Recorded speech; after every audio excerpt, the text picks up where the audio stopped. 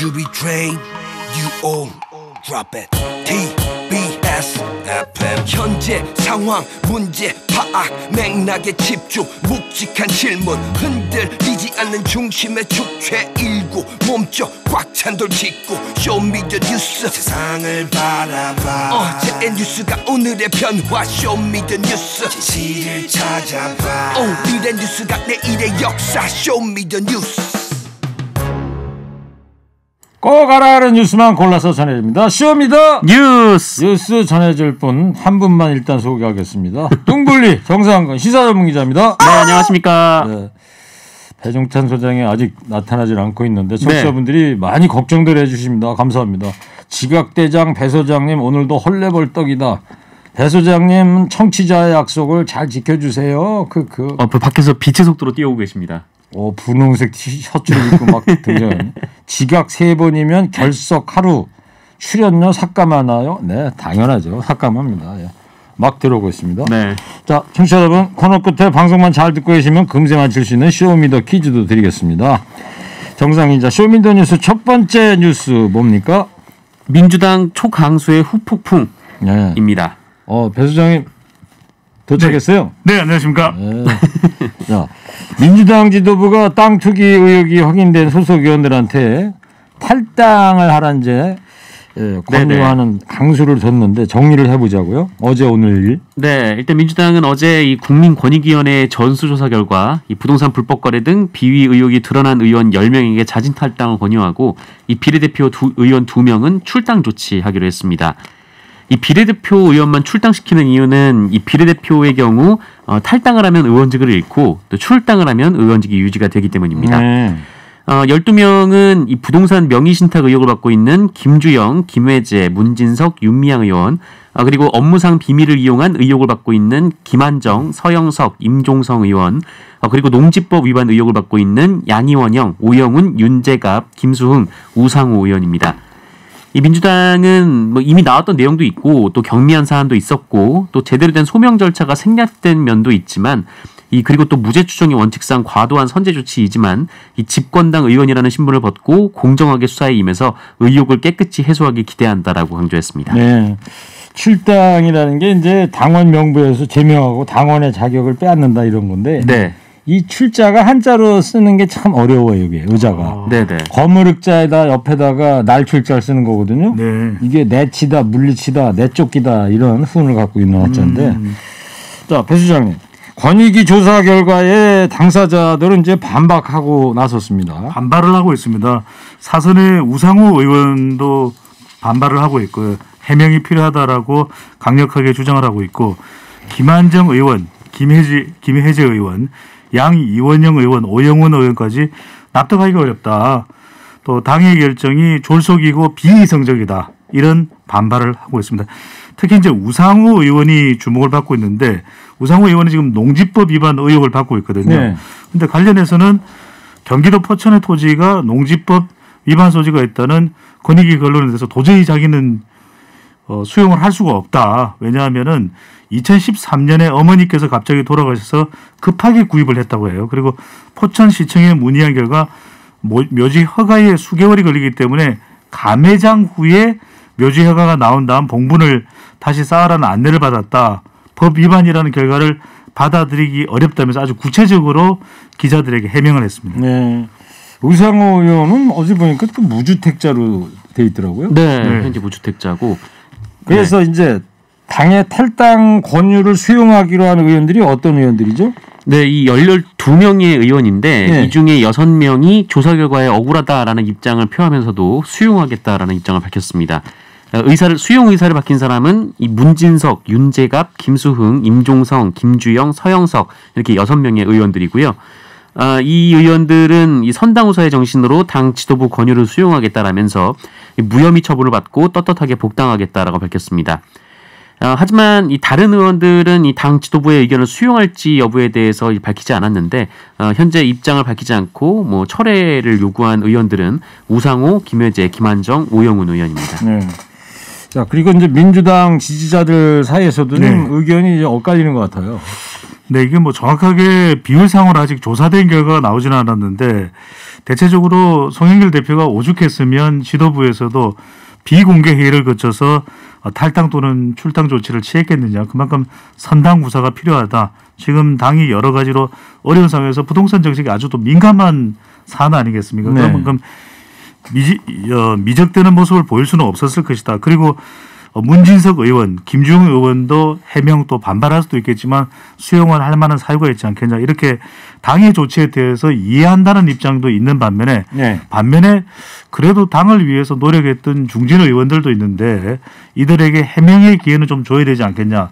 특히 이제 우상호 의원 같은 경우 이게 큰 정치적 타격이 될 수도 있거든요. 그렇죠. 이것이 혐의가 있느냐 또는 없느냐에 따라서 그렇기 때문에 좀 해명 기회 정도는 줬었어야 되는 거 아니냐 이런 의견도 나오고 있습니다. 우상호 의원은 뭐 내년 이제 서울시장 선거에서 올해 재보궐 선거 때 마냥 다시 서울시장에 도전할 네네. 그럴 의지를 갖고 있는 네. 것으로 알려지고 그리고 또 있는데 사선 의원 정도 되면 자기 대권에서 출마하지 않는다면 또 캠프나 또는 선대본에서 중요한 역할을 하게 되거든요. 네. 사실상 이렇게 되면 이미지가 상당히 많이 훼손이 된 상황이기 때문에 그런 역할을 하기도 힘들어진다고 봐야 되겠죠. 그래요. 한- 저기 유튜브로 김정수님이 억울한 사람이 없도록 하는 게 무엇보다 중요하다. 자, 이런 얘기였고요.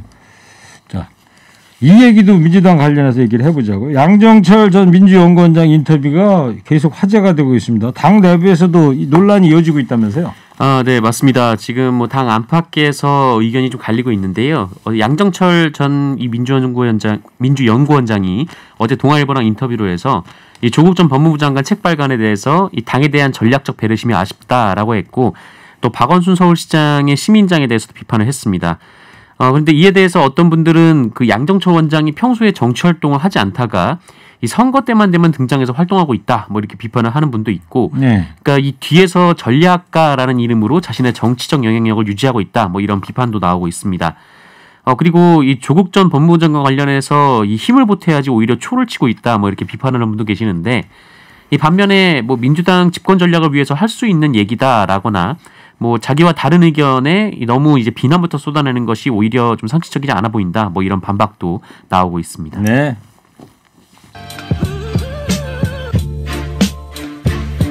정상근 기자가 백신 접종했다고 그랬나요? 내일 합니다. 내일. 내일 10일 날 네. 네. 내일이네요. 음. 얀센 백신 민방위 맞습니다. 대원으로 얀센 그거 한다 그랬죠? 네, 네, 맞아요. 어, 몇시 맞아요? 저는 오전 9시에, 어, 네, 9시에. 열리자마자 가장 처음 왔습니다. 얀센과 관련해서도 궁금하신 부분이 이제 유효 기간이 아주 짧다고 하잖아요. 그래요. 그래서 오는 23일까지가 유효 기간인가 아마 그럴 겁니다. 아, 요번에 들어온 바이든 예, 백신이 그래서 일각에서는 이게 미국이 뭐냐 지원한다고 해놓고 사실 상당히 우스운 상 꼴이 되는 거 아니냐 이렇게 이야기가 나오는데 전문가 취재를 한번 해봤거든요. 음. 그랬더니 우리나라만큼 방역 체계가 잘 된 곳에서는 그 유효 기간 내에도 얼마든지 처리가 가능하답니다. 어, 아, 그래서 어, 받아들일 수가 있었다라고 음. 얘기를 아, 하더라고요. 그거 취재하느라고 늦었구나. 하나 드릴게요. 예. 그거라고 해야지. 두 번째 전문가 취재라고 하는데 어떤 분하고 취재를 했어요? 네, 그러니까 백신 학회에 계신 분하고 네 전화 통화를 했습니다. 네. 이름은 밝힐 수는 없고요. 근데 뭐 이것이- 뭐? 예, 이걸 누군가라고 알겠습니다. 말씀을 드리기는 알았어요. 네. 예. 자, 두 번째 show me the 뉴스 어떤 뉴스 보여줄 거예요? 그러면 국민의 힘 속 속내는 곤혹 속내요. 속내. 네. 네. 자, 이제 민주당의 땅 투기 의혹 관련해서 어제 명단도 공개되고 그래서 이제 국민의힘 얘기 안 할 수가 없는데 네. 그 국민의힘은 민주당의 탈당 권유 조치에 대해서도 이 비판하고 있습니다 지금. 두 가지가 있는 것 같아요. 하나는 이제 정치적으로 비판을 할 수밖에 없다 이렇게 이제 판단했을 수가 있고 또는 지금 전당대회로 한껏 주, 한껏 주가를 높이고 있는 것이 지금 국민의힘 상황이거든요. 그렇죠. 근데 상당히 또 당황한 것 같아요.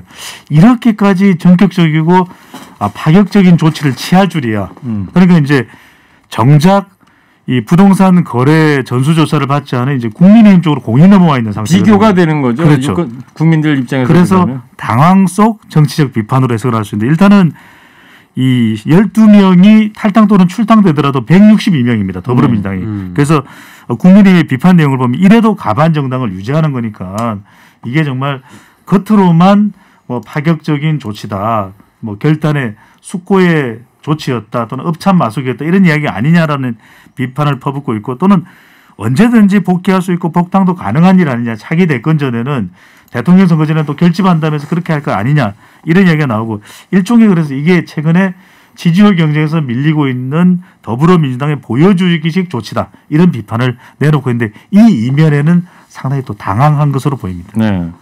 그래서 이제 국민의힘은 전수조사를 받긴 받을 건데 네. 권익위 민주당처럼 권익위 조사를 안 받고 감사원에다 조사를 받게 하겠다고 그러는데 네네. 이게 어- 안 되는 거라잖아요. 맞습니다. 이 감사원에서 못한다라고 얘기를 했거든요. 네. 이 감사원법에 따르면 이 국회의원은 감사 대상이 아니기 때문에 뭐 별도로 조사를 해달라고 본인들이 요청해도 할 수가 없다라는 게 감사원의 입장입니다. 24조에 있다는 거 아닙니까? 네, 그러니까 뭐 사실 이 국민의힘이 감사원에 받겠다라고 했는데 이 감사를 하겠다는 주체가 못한다고 한 상황이기 때문에 그렇죠. 이 국민의 입장에서는 뭐 굉장히 좀 당황스러운 상황인데 그러니까 감사원은 행정부 쪽에 대한 감사는 할 수 있어도 이건 입법부잖아요. 네, 네, 전혀 기능이 다른 거죠. 삼법 기능 속에서 근데 권익위는 할 수가 있고요. 그렇죠. 어 그래서 이 국민의힘이 사실 초반에는 좀 당황하는 표정이 있었습니다. 그래서 이 감사원의 조사 권한이 없다는 내용을 이 뒤늦게 파악했다. 좀 이렇게 대변인 해명이 나오기도 했는데 어 그런데 이후에도 감사원 감사를 받겠다는 입장을 철회하지 않고 그렇죠. 어 오히려 이 법적으로 감사원이 감사를 못하면 법을 바꾸자 이렇게 주장을 하고 있습니다. 법을 언제 바꿔요, 그거? 그러니까 민주당이 지금 입법 독재를 하고 있는데 이 현행법상 불가능하다면 이 관련 법률을 원 포인트 개정하면 되는 거 아니냐? 어, 그러면 이제 우리가 감사원에서 조사를 받으면 된다라는 입장을 어 이제 국민의힘 대변인이 이 강민국 원내대변인이 말했습니다. 예. 그러니까 국민권익위원회에서 받으면 되는 것이거든요. 오해하고 있는 것이 국민의힘에서 국민의 국민권익위 조사에 대해서 비판을 했던 것이 전현희 국민권익위원회 위원장과 관련돼 있었거든요. 근데 전 민주당 의원이다 이거죠. 예, 이번 조사에 전혀 참여를 안 했어요. 그렇죠. 그러니까 위원장이 정치적 혹시라도 오해를 살 수 있기 때문에 전혀 개입을 하지 않고 또 수사 기능이 없습니다. 그러니까 국민권익위원회는 일단 전수조사를 해서 그대로 그 자료를 넘겨주는 것이기 때문에 최종적인 판단은 국민의힘 지도부에서 하면 되는 것이거든요. 네. 근데 이제 일단은 지금 전당대회를 앞두고 있기 때문에 아마 결정을 못하는 것일 수도 있고 자칫 잘못하면 감사원장인 최재형 감사원장이 보수 야권의 대선 후보로도 거론되고 있거든요. 그러니까요. 아마 그런 이유 때문 아닌가라는 오해를 살 수도 있는 것이죠. 11일 날 이제 모레죠. 네. 당 대표 어느 분이 선출될지 모르겠습니다만은 네. 어, 오늘과 내일 국민 여론조사를 이제 실시를 합니다. 뭔가 방법이 방안이 나오겠죠. 네. 관련해서 말씀드리면 이제 이 부동산 거래 조사 관련해서 당 대표 주자들도 약간 어리둥절한 것 같아요. 그러니까 네. 정해지지 않았다, 애매모호하다 이렇게 볼 수가 있겠는데 가장 지금 돌풍을 일으키고 있는 이준석 후보의 경우에는 뭐래요? 뭐 감사원에서 하는 게 좋다는 게 당 원내 지도부의 의견이라면 공감을 한다.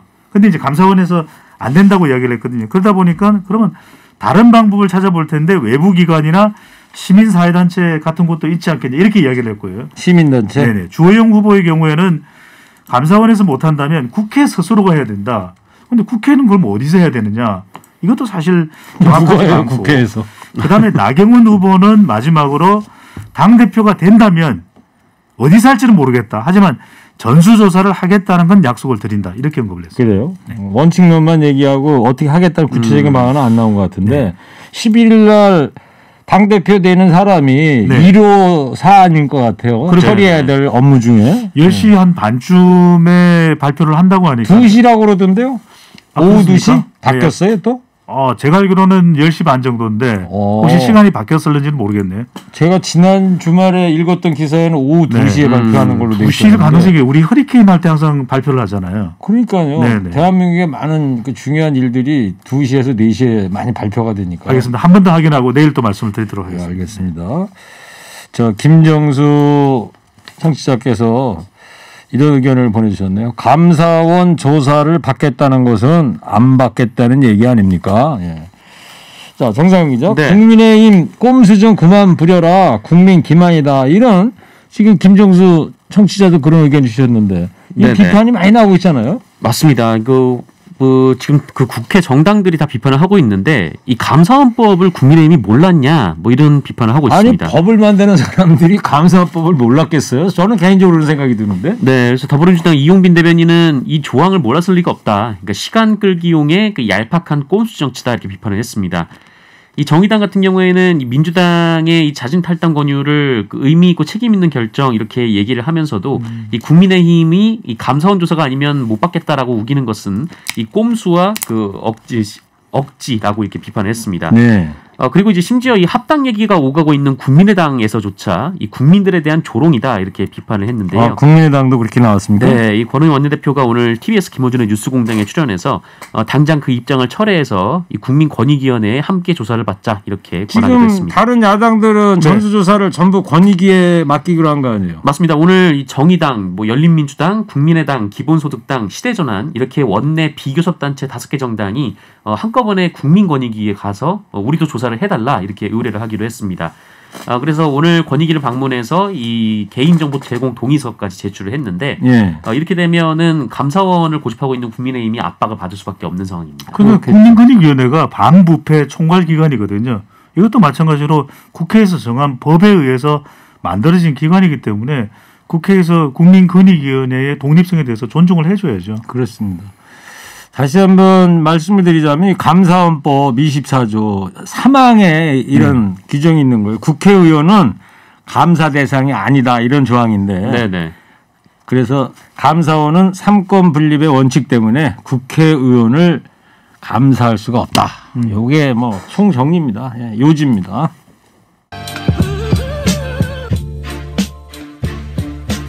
저는 허리케인 라디오 앵커 DJ 최일구고요. 인사이트케이 배종찬 소장, 정상근 시사 전문 기자 함께하고 있습니다. 자, 백신 얘기 아까 잠깐 했는데 지금 세 번째 show me the 뉴스 뭐죠? 백신 맞으면 해외 여행 간다. 야! 자제해 주시기 바랍니다. 네. 정부가 travel bubble을 본격 추진하기로 했다고요? 네, travel bubble은 우리나라에서만 추진하고 있는 것은 아닙니다. 정확하게 travel bubble. 그러니까 이거 travel은- 우리말로 번역하면 뭐예요? travel은 여, 여행 여행 거품? 네 네 여행 거품인데 이 bubble이 그런 여행을 하는 하나의 이 기회가 만들어진다 또는 영역이 만들어진다 범위가 만들어진다 그러니까 이런 사람 몸 밖으로 이렇게 저 거품 있는 그렇습니다. 것처럼 네. 백신이 그렇게 버블 역할을 해준다 이런 얘기죠. 그러니까요. 안전 네. 권역 이렇게 안전 보시면 될. 것 같습니다. 음. 네. 그래서 병역 관리에 대한 상호 신뢰가 회복된 국가 간 그러니까 확진자가 많지 않고 방역도 신뢰할 수 있는 그런 국가 간의 자가격리를 면제함으로써 여행이 가능해지는 것이죠. 네. 그래서 실제 이 여행이 가능할 수 있는 국가들은 방역에 상당히 성공한 국가다 이렇게 판단하시면 될 텐데 싱가포르, 대만, 태국, 괌, 사이판 등이 바로 어, 트래블 법을 논의가 되고 있는 나라들입니다. 우리나라도 마찬가지고 근데 아직 확정되지는 않았습니다. 근데 이 결정이 내려지게 되면 물론 이제 출국 전에는 코로나 검사 등 필요한 제반 수속들은 밟아야 되는데 아 7월부터는 이것이 이제 합의에 이르게 되면 싱가포르 앞서 말씀드렸던 대로 태국, 사이판 등을 여행할 수가 있습니다. 예, 그렇군요. 이 travel bubble을 지금 제가 찾아보니까 이런 거네. 저는 이게 사람 몸에 증거인자 그게 아니고 두 분이 얘기하셨던 것 마냥 상대 국가하고 협정을 맺어갖고 네. 해당 국가의 관광객이나 여행객에 대해서 격리 조치를 면제하는 거예요. 네. 그렇죠. 맞습니다. 그래서 네. 비격리 여행 권역이다. 네. 비누 거품 그런 개념이 아닌 거고요. 네. 그런 거죠. 오늘 저 travel bubble이 매우 중요할 것 같아요. 중요합니다. 네. 밑줄 몇 개 쳐야 돼요? 밑줄은 여섯 개입니다. 왜요? 지금 현재 일단 보도된 나라들은 우리나라까지 포함해서 6개국이거든요. 어디라고요? 다시. 싱가포르, 대만, 태국, 괌, 사이판, 우리나라입니다. 대한민국. 네. 아직 결정된 건 아니지만 검토 중이다. 네. 적극 검토 중이다. 알겠습니다. 정상 기자, 이 네. 백신 접종 상황 어떻게 되고 있어요? 내일부터 이제 그래서 민방위 대원으로서 첫 접종을 하는데 얀센 접종. 맞습니다. 이 내일부터 저를 비롯해서 네. 이 30대 이상의 예비군 민방위 대원들에 대한 얀센 백신 접종이 이 최초로 시작이 됩니다. 네. 아, 그리고 이제 백신 접종도 빠르게 이루어지고 있어서요. 그 어제도 70만 명이 넘게 이 백신 접종을 했습니다. 네. 어, 그래서 이 누적 접종자가 그 오늘 0시 기준으로 920만 명이 나왔는데 어, 이 정도 속도면은 오늘 아니면 늦어도 내일까지 이 접종자가 천만. 천만 명을 네, 넘길 것으로 보이고 어, 현재 인구 대비 접종률도 18% 정도로 네. 전 세계 평균 접종률을 넘어선 상황입니다. 정부 목표가 6월 30날 마지막 날까지 25%. 25%. 네, 네. 1,400만 1,300. 그죠? 1,300만에 플러스 알파. 플러스 네. 그 바이든 백신, 얀센. 백신 100만에서 1,400만 1,400만 얘기가 모는 나오죠. 거죠. 네, 1,400만까지 맞출 수 있다라는 이제 정부의 입장인데 여기에 맞춰서 뭐 어제도 이제 화이자 백신이 다시 들어왔고요. 백신 공급도 계속 무리 없이 그 차질 없이 이루어지고 있습니다. 그래요. 이 내일부터 이제 백신 공포 분위기가 있긴 있었는데 네네. 20대 그 사회 필수 인력 사전 예약도 조기 마감이 됐습니까? 그러니까요. 26만 명이 어, 수요 대상이었는데 실제로는 20만 명에서 예약 마감을 했습니다. 조금 추계가 혼선을 빚었다 그래요. 그래서 6만 명은 다음 달에 접종을 되게 접종을 하게 되는데 지금 이제 얀센도 들어왔죠. 그리고 또 7월부터는 3분기부터는 모더나, 화이자 추가적으로 들어오거든요. 네. 말 그대로 그동안 우리가 우려했던 어, 백신 수급은 별 문제 없이 원활하게 되고 있습니다. 그래요. 얀센 그러니까 얀센이 뭔 뜻인지 아세요? 얀센 글쎄요. 사람 이름이에요. 아, 어느 나라 학자 이름인지 아세요? 네덜란드? 벨기에. 아, 어. 벨기에. 아. 자, 이거 뭐 알아야 되나요? 간결하게 하시죠. 미국이 각국에 대한 여행 정보를 조정을 했는데 우리나라는 몇 단계예요? 우리나라가 1단계가 됐습니다. 음. 예, 미국 국무부가 이 그러니까 자국민 1단계면 좋은 거예요? 가장 낮은 그 주의 수준이죠. 네. 네. 그러니까 뭐 어차피 지금 전 세계적으로 코로나가 돌기 때문에 이 어느 나라를 가든 주의를 해야 된다라는 게 뭐 미국 국무부의 입장인데 이 여행 경보 네 단계 중에 가장 낮은 단계입니다. 음. 그래서 지금 총 네 단계가 그러니까 안전하다 이렇게 본다 이거죠? 네. 미국이 그래서 우리나라를. 얼, 네, 맞습니다. 그 얼마 전에 그 미국이 미국 국무부가 일본에 대해서 음. 4단계로 격상을 그랬어요, 했거든요. 맞아요. 그 여행 네. 금지를 내렸는데 네. 어, 이번에 이제 우리나라도 2단계에서 1단계로 조정을 하면서 그 일본도 4단계에서 3단계로 조정 을 하긴 했습니다. 네. 어 근데 3단계도 이렇게 여행 재고, 그러니까 여행을 하고 싶으면 다시 한번 좀 음. 생각해 달라. 좀 이런 수준이어서 굉장히 좀 높은 단계인데, 그러니까 우리나라는 이 작년 11월 24일 이 강화된 주의 단계로 올린 이후 어 196일 만에 다시 1단계로 오히려 음. 내려와서 네, 그 여행이 가능한 국가로 음. 미국에서도 꼽히고 있습니다. 한 말씀만 짧게 말씀드리면 도쿄올림픽 때문에 미국이 일본을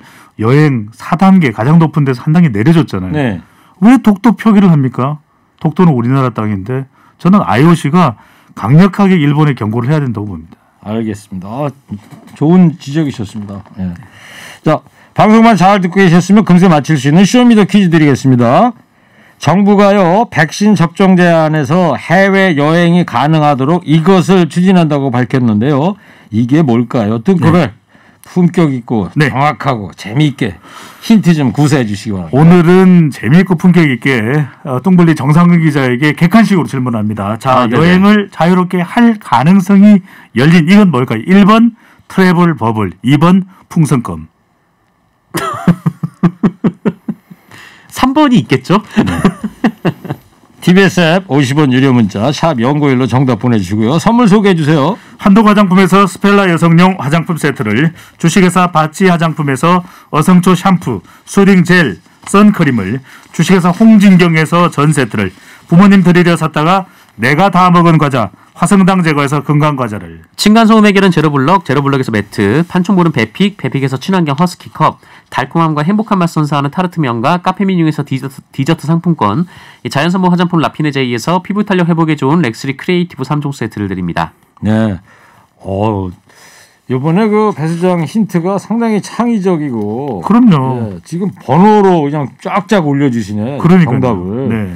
사탕 하나 네. 아까 드렸죠? 피자 한 판 안 되나요? 안 되고요. 예, 이건 정상 기자 이따 가져갈게요. 아, 감사합니다. 예. 자, show me the 뉴스 지금까지 배종찬 소장, 정상근 기자였습니다. 두 분 감사합니다. show me the 뉴스